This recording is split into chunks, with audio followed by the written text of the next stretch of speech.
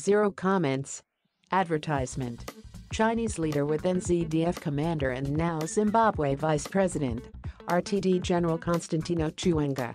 In the clearest sign yet of Beijing's closet support of vice president, RTD General Constantino Chiwenga's alleged bid to take over as Zimbabwe leader from President Emmerson Mnangagwa this year, come what may, Chiwenga has returned back to China barely a month after returning to the country from the Asian nation for medical treatment, reportedly on a secret private invitation from Chinese President Xi Jinping, Spotlight Zimbabwe, has been told. Zero comments. Advertisement. Chinese leader with NZDF commander and now Zimbabwe vice president, RTD General Constantino Chiwenga. In the clearest sign yet of Beijing's closet support of vice president, RTD General Constantino Chiwenga's alleged bid to take over as Zimbabwe leader from President Emmerson Mnangagwa this year, come what may, Chiwenga has returned back to China barely a month after returning to the country from the Asian nation for medical treatment, reportedly on a secret private invitation from Chinese President Xi Jinping, Spotlight Zimbabwe, has been told. Image result for Xi Jinping and Chiwenga. According to high-level sources inside the office of the president and cabinet OPC, the VP's invitation was allegedly relayed to him by China's deputy ambassador to Zimbabwe, Zhao Baogang, through Foreign Affairs Minister, Sibusiso Moyo, who met with the chargé d'affaires on 12 December 2019 at his Munhumutapa offices. The disclosures come hot on the heels of former Information Minister and President Robert Mugabe's government, Jonathan Moyo, this week revealing on his Twitter handle that Mnangagwa has not taken his annual leave and has not been able to leave the country because of a foiled coup in early November last year, which has cost the dreaded Central Intelligence Organization CIO Deputy Director, Aaron Nhepera, his job. This publication was the first to report on 22 March 2019 that a special delegation of senior Zimbabwean military officials reportedly told Chinese generals that Mnangagwa's political reign will expire in 2020, a few days prior to former leader Mugabe's November 2017 coup ouster. The president is not himself and is in panic mode, OPC sources said. He was made to believe that his deputy is going for a medical review in China, but it has turned out that the vice president has been invited for a private visit by Chinese President Xi Jinping's office. Nobody knows the purpose of the invitation, nor the exact date the VP will come back home. So in the president's eyes the whole medical thing is a political alibi, and we really don't know what's going on or what will happen when his deputy returns. Mnangagwa recently told congregants attending an annual National Thanksgiving and Dedication service at the Zimbabwe International Trade Fair ZITF grounds in Bulawayo a few days ago that Chiwenga was back in China for medical review and asked the congregants to pray for the VP. I wish that as we pray, we've also remembered to pray for Vice President Chiwenga who is back in China for medical review. He will be back in the country soon, Mnangagwa said.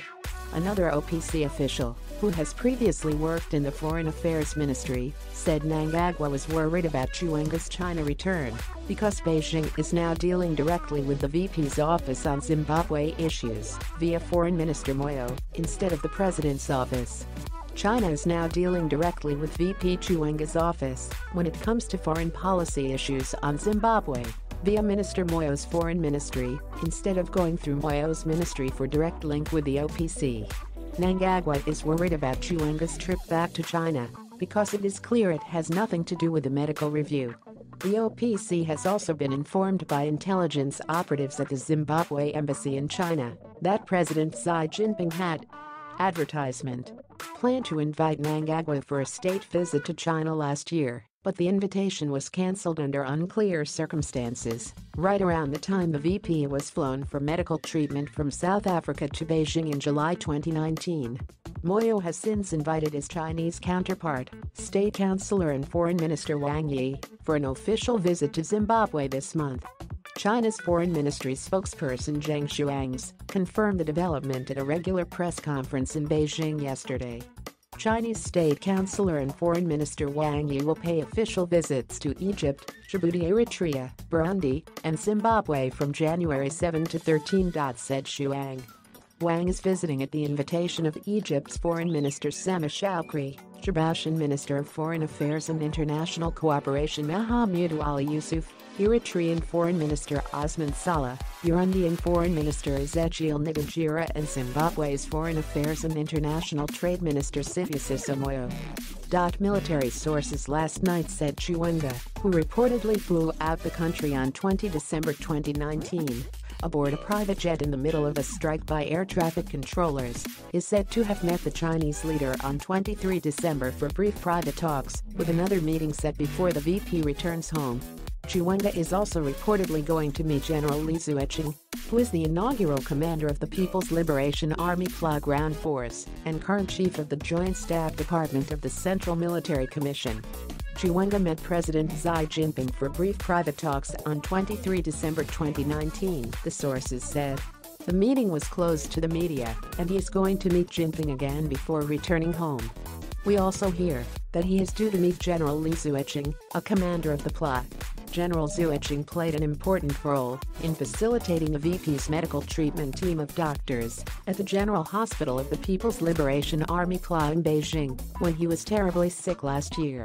During Chiwenga's visit for military exchange in 2017, as the Zimbabwe Defense Forces ZDF commander, General Zuocheng, held a welcoming ceremony for Chiwenga and accompanied him to review the honor guard of the Chinese People's Liberation Army.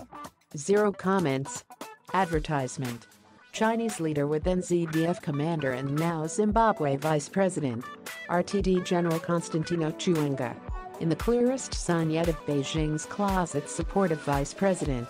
RTD General Constantino Chiwenga's alleged bid to take over as Zimbabwe leader from President Emmerson Mnangagwa this year, come what may, Chiwenga has returned back to China barely a month after returning to the country from the Asian nation for medical treatment, reportedly on a secret private invitation from Chinese President Xi Jinping, Spotlight Zimbabwe, has been told.